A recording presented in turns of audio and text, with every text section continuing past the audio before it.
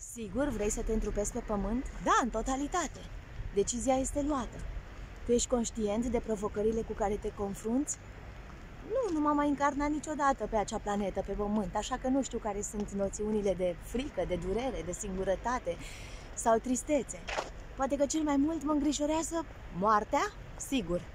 Nu pot înțelege ideea asta de a înceta să exist. Pentru totdeauna, pentru că asta e imposibil.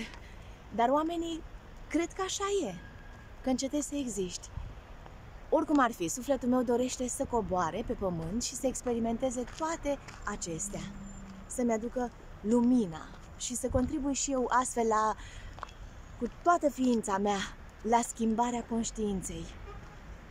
Și când, când ești acolo jos, limitat de corpul fizic și te întrebi tu uh, ce faci în acel loc, tu vei înțelege? Tu vei înțelege din această stare de conștiință că nici măcar nu poți intui ceea ce înseamnă să experimentezi densitate și limitări? Da, accept această provocare. Deci, dacă asta e voia ta, atunci nu trebuie decât să-ți urezi o călătorie fericită prin lumea asta a Pământului, tridimensională, și să-ți reamintesc că vom fi alături de tine din această dimensiune, privind și îndrumându-te. Și dacă reușești să-ți deschizi tu inima suficient de mult, sarcină care nu este absolut deloc simplă, vei putea să ne asculți și să percepi semnalele pe care ți le vom trimite. Păi și care e cel mai bun mod de a-mi deschide eu inima?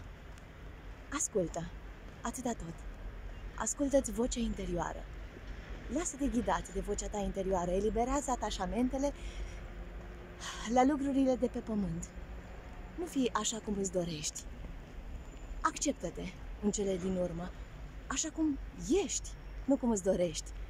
Doar așa îi poți accepta și pe ceilalți și ai putea să le onorezi învățătura. Pacea și iubirea care vor apărea în tine ca urmare a acelei acceptări te vor pune automat în contact cu noi. Bine, așa o să fac, voi ține minte. Voi ține minte învățătura voastră. Prietene, nu uita, astea sunt regulile. Va trebui să ți-l amintești pe acest corp fizic al tău. Acest corp fizic al tău este deja contaminat cu judecăți, cu atașamente, cu credințe negative. Acest corp fizic al tău se va naște, va crește și va îmbătrâni. Dar lumina sufletului tău trebuie să iasă la iveală din întunericul acela al fricii, al neîncrederii, al neînțelegerii. Ai încredere, da? Suntem siguri că vei reuși. Ah, și asta ce e? Acesta este pântecele mamei tale pământence. Și acel mic embrion cu membre pe care îl poți vedea în interior este corpul tău fizic pe care îl vei întrupa. Ah, bun. Și acum Drum bun, suflet stelar!